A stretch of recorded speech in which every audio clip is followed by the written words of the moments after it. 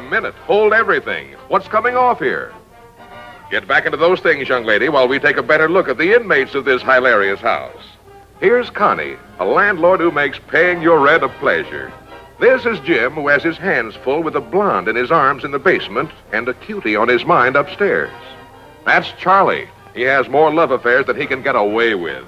And this is Bobby, an old army buddy who just got back to her base of operations. Wow. You know, all the time we were overseas, Jim talked of nothing but you. You must have found that pretty dull.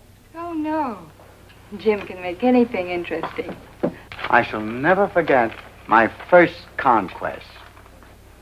I was two and a half weeks old. We had a French nurse. My name is Gray, Federal Bureau of Investigation. Oh, well, uh, come in.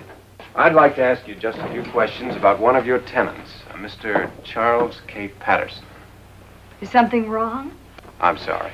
I'm not at liberty to discuss the reason for our investigation. Oh, but Mr. Gray, this is very important.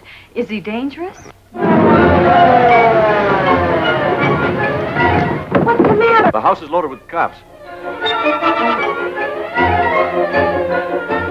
The police arrive in the nick of time, the plumbing goes out most of the time, and the walls rock with fun and laughter all the time in the screen's most heartwarming housewarming in years.